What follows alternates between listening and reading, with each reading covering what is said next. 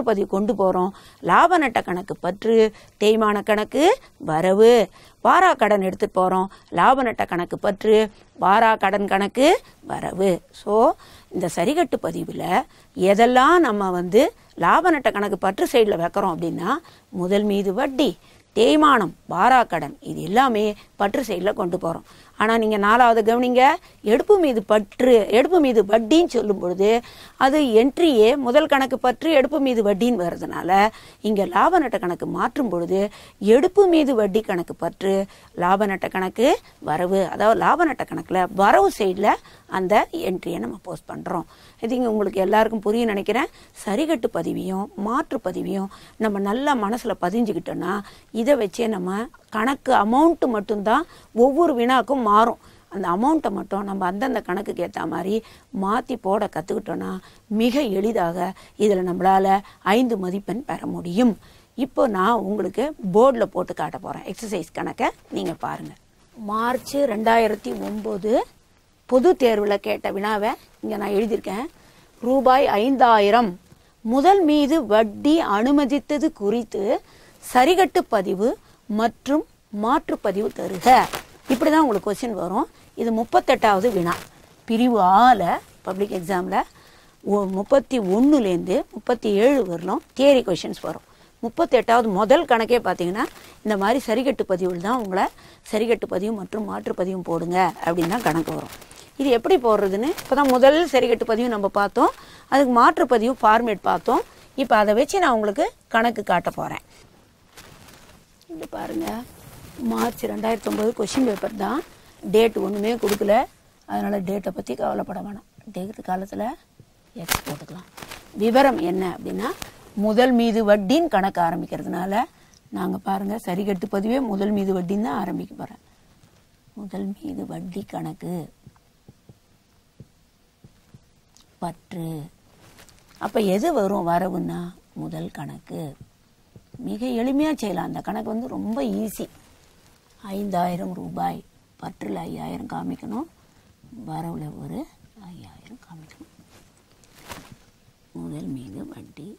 Percentage கொடுத்தா percentage காட்ட போகிறோம் வெறும் அமௌண்ட்டே கொடுத்துருக்காங்கன்னா அமௌண்ட்டு காமிச்சா போகிறோம் முதல் மீது வட்டி அனுமதித்தது. இது குறிப்பிட்டு பதிவு. இதுக்கு மாற்று பதிவு போட போகிறோம் எப்படிடா மாற்று பதிவு அப்படின்னா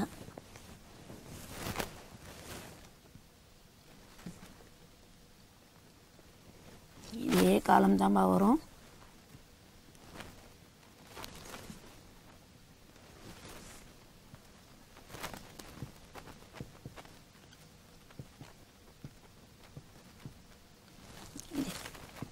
நாளுக்கு நாள் கொடுக்காதனால எக்ஸன் போட்டுக்கிறோம். இப்போ மாற்றுப்பதிவு எல்லாமே நான் சொல்லிட்டேன். முதல் மீது வட்டினாலே லாப நட்ட கணக்கில் பற்று சைடில் காட்டுறோம். அதனால் லாப நட்ட கணக்கு பற்று. முதல் மீது.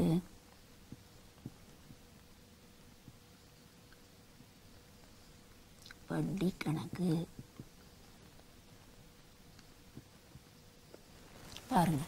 மாற்றுப்பதிவு செய்யும் பொழுது லாப நட்ட கணக்குக்கு கொண்டு போகிறதுனால லாப நட்ட கணக்கை பற்றில் வச்சுட்டு முதல் மீது வட்டி கணக்கு வரவா காமிக்கிறோம். எவ்வளோ தொகைன்னா அதே ஃபைவ் தௌசண்ட்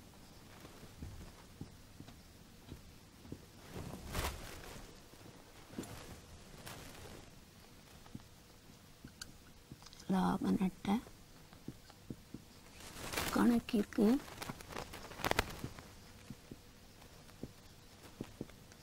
மாற்றப்பட்டது.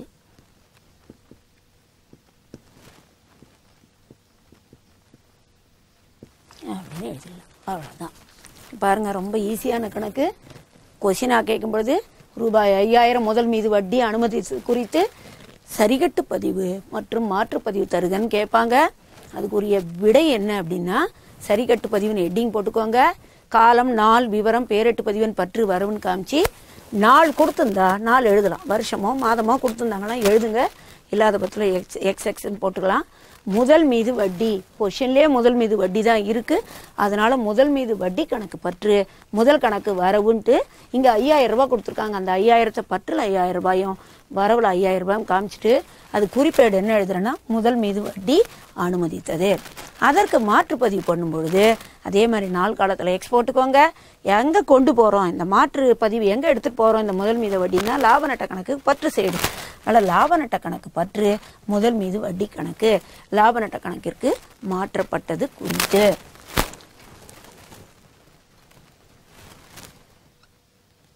குறித்து அப்படின்னு கூட குறிப்பிட மிக மிக எளிமையான கணக்கு இந்த அஞ்சு மார்க் கணக்கு. அடுத்த சரிகட்டு பதிவை நான் இப்போ போர்டில் போட போகிறேன் இந்த கணக்கும் பப்ளிக் கணக்கு தான்.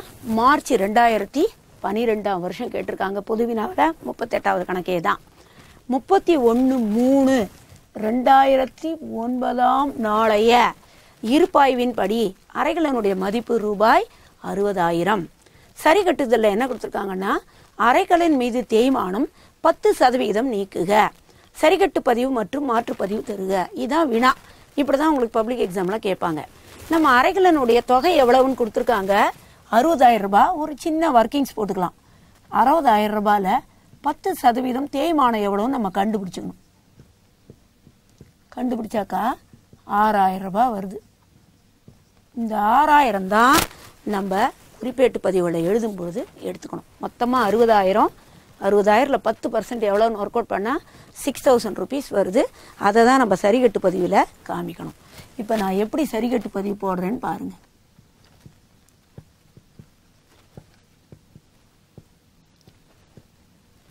எல்லா கணக்குக்கும் காலம் அதே மாதிரி தான் வரும். அதில் எந்த மாற்றமும் கிடையாது. சரிகட்டு பதிவுனாலே நாள் விவரம் பேரெட்டு பதிவு எண் பற்று மரபு.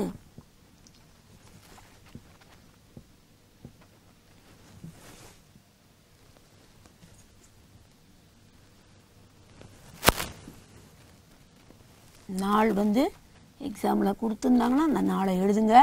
இல்லாட்டி எழுதணுன்ற அவசியம் இல்லை. கற்பனையாக இந்த நாளும் அதில் எழுத வேண்டாம். இப்போ நாள் இந்த கணக்கில் முப்பத்தொன்று மூணு ரெண்டாயிரத்தி ஒன்பதாம் நாளை இருப்பாய்வின் படின்னு கொடுத்துட்டான். அதனால் நான் நாளை எடுத்து முப்பத்தி ஒன்று மூணு ரெண்டாயிரத்தி ஒன்பது.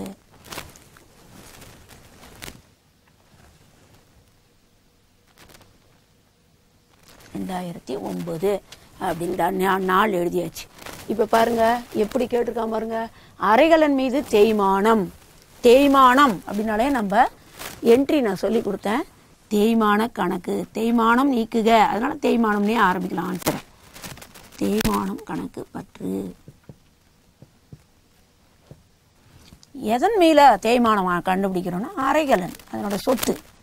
அரைகலன் மேல தான் நம்ம தேய்மானம் கண்டுபிடிக்கிறோம். அரைகலன் கணக்கு. எவ்வளவு தொகை? அறுபதாயிரம் எடுத்துக்கக்கூடாது. அரைக்கலனோட மதிப்பு தான் அறுபதாயிரம். தேய்மானம் எத்தனை சதவீதம் பத்து சதவீதம். பத்து சதவீதம் நம்ம நேரம் ரெடியாக ஒர்க் அவுட் பண்ணி வச்சுருக்கோம். ஆறாயிரம்னு. அந்த ஆறாயிரத்தை தான் பற்று சைடில் ஆறாயிரம். வரவு சைடில் சிக்ஸ் தௌசண்ட் காட்டணும்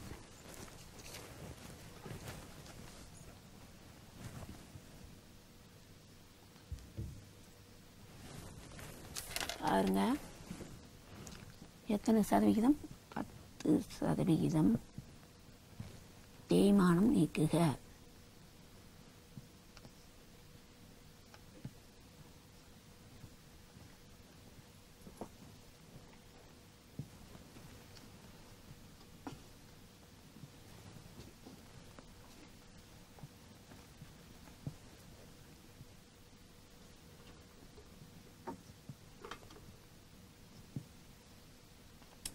குறைத்து இப்போது இதுக்கே நம்ம மாற்று பதிவு போட போகிறோம் சரிகட்டு பதிவு உங்களுக்கு புரிஞ்சிருக்கும்னு நினைக்கிறேன்.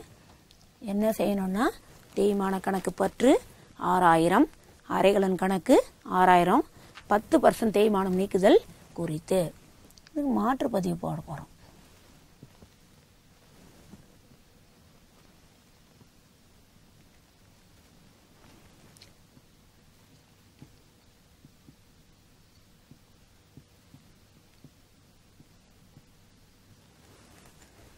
சரிகட்டு பதிவுக்கு என்னென்ன காலங்கள் போடுறோமோ அதே மாதிரி காலம்தான் மாற்றுப்பதிவுக்கு. வித்தியாசமே கிடையாது. அதே மாதிரி நாளில் பார்த்தீங்கன்னா முப்பத்தி ஒன்று மூணு ரெண்டாயிரத்தி ஒன்பது. இப்போ என்ன செய்யணும்னா முன்னே சொல்லிட்டேன். தேய்மானம்னாலே லாப நட்ட கணக்கில் பற்று சைடில் காட்டுறோம். ஸோ லாப நட்ட கணக்கு பற்று. தேய்மானம் கணக்கு.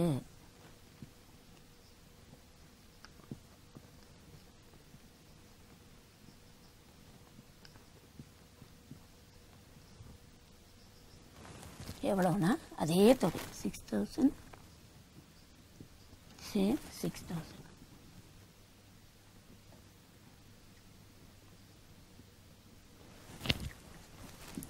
லாப நட்ட கணக்கிற்கு மாற்றுவது குறித்து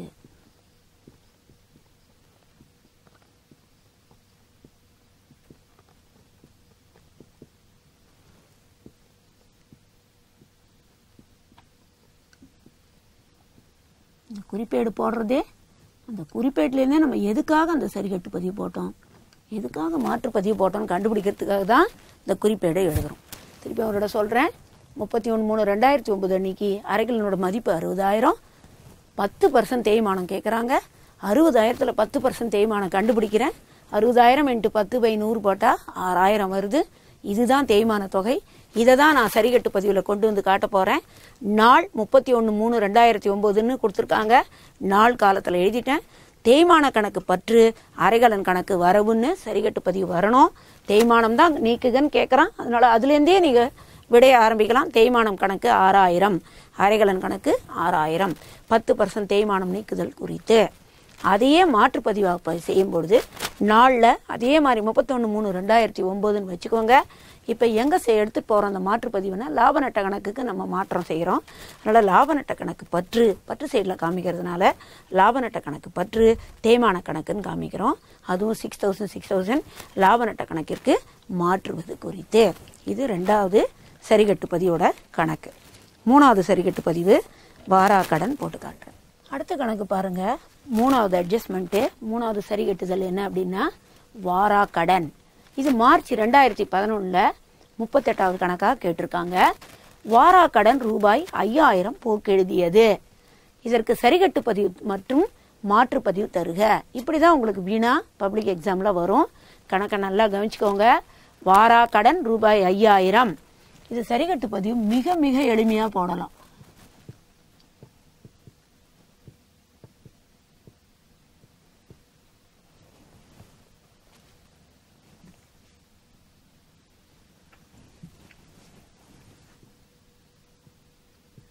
நாள் விவரம் பேரிட்டு பதிவு எண் பற்று வரவு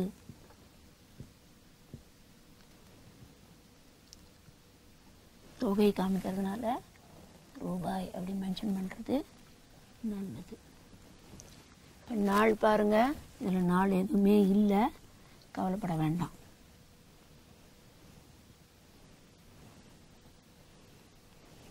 இப்போ நாள் காலத்தில் நாள் கொடுக்கப்படாதனால நான் எக்ஸ் போட்டுக்கிறேன்.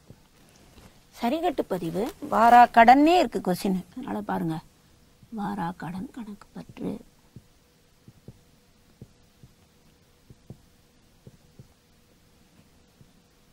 பற்பல கடனாளிகள்.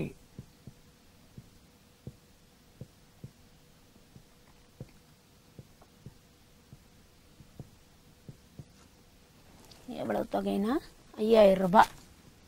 ஒரு எந்த ஒர்க்கிங்ஸ் இல்லை அந்த ஜேர்னலில் என்ன கொடுக்குறாங்களோ அதே அமௌண்ட்டை எடுத்து நீங்கள் அப்படியே காட்ட போகிறீங்க இதில் எந்த ஒர்க்கிங்ஸ் இல்லை வெறும் இந்த சரிக்கட்டு பதிவு மட்டும் எப்படி போனால் நீங்கள் ஞாபகம் வச்சுக்கிட்டிங்கன்னா வாரா கடன் கணக்கு கொடுக்குறாங்க. அதுலேருந்தே வாரா கடன் கணக்கு பற்று பற்பல கடனாளிகள் கணக்கு வரவுன்னு காமிச்சு பாருங்கள் கொஷினே போக்கு எழுதியதுன்னு கொடுத்துருக்கான். அதையே நீங்கள் குறிப்பாக எழுதலாம். வாரா கடன் போக்கு எழுதியது. குறிப்பு கூட நீங்கள் எங்கேயுமே அலைய வேண்டாம். ஈஸியாக இதிலே ஆன்சர் இருக்குது மாற்றுப்பதிவு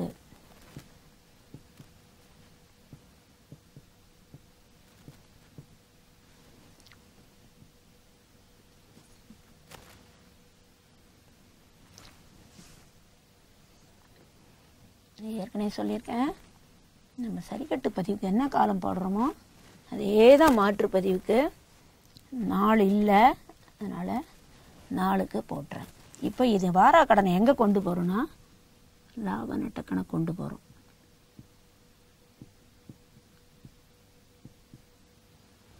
லாப நட்ட கணக்கு பற்று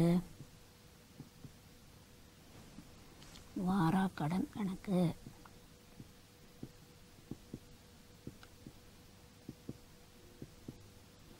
இதே தொகை ஐயாயிரம் ரூபாய் ஐயாயிரம்.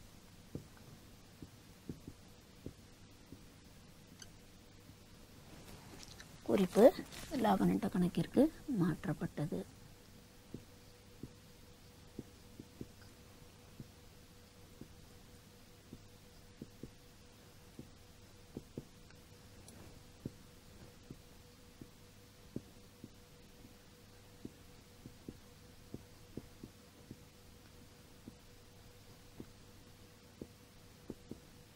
மிக மிக எளிமையாக ஐந்து மதிப்பெண் பெறலாம். வாரா கடன் கணக்கு ஆரம்பிக்கிறதுனால வாரா கடனையே பற்று வைங்க. பற்பல கடனாளிகள் கணக்கு வரவுன்னு காமி. இதை நம்ம என்ன செய்கிறோம்னா லாப நட்ட கணக்கு பற்று சீடு மாற்ற சே- மாற்றம் மாற்றுறோம் அதனால் ட்ரான்ஸ்ஃபர் பண்ணுறதுனால லாப நட்ட கணக்கு பற்று ஐயாயிரம். வாரா கடன் கணக்கு அப்படின்னு எழுதுகிறோம் லாப நட்ட கணக்கிற்கு மாற்றப்பட்டது குறித்து. அடுத்து இன்னும் ஒரு கணக்கு. சரிகட்டு பதிவு நாலு பார்க்க போகிறோம்